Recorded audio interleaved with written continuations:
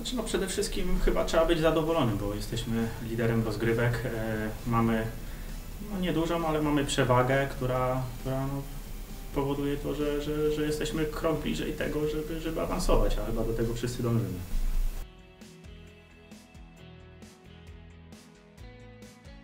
Znaczy, No ja przede wszystkim bardzo e, zabolała mnie porażka e, ostatnia z Krzo, e, ale wiadomo, że każdy, każda e, strata punktów e, naszego zespołu gdzieś tam, gdzieś tam nie boli e, i chciałbym do każdego z tych meczów z osobna wrócić.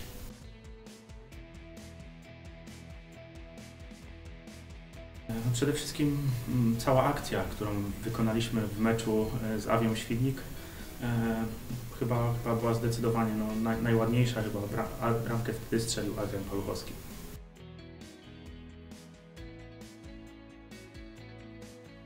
Poza piłką nożną, no dużo tego jest. E, No ja przede wszystkim lubię podróżować i, i tak jak mówię, no w tych czasach trochę jest, jest trudno cokolwiek zor- zorganizować. E, ale no, przede wszystkim lubię poznawać nowe miejsca, nowe, nowe kraje i, i chyba to jest takim najprzyjemniejszym dla mnie e, odpoczynkiem i hobby.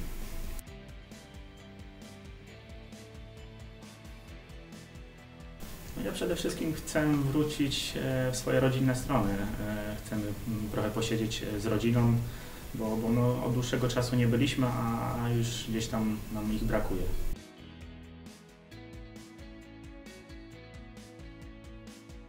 Film.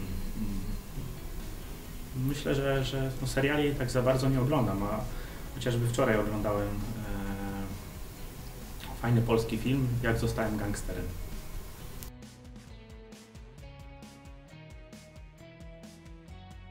gra Clash of Clans, książka. Ostatnią, jaką przeczytałem, to był Her Guardiola, e, a ogólnie lubię książki e, Dana Brauna, że wszystkie, jakie nowe się pojawiają, zawsze, zawsze przechwytuję i staram się z entuzjazmem je chwytać.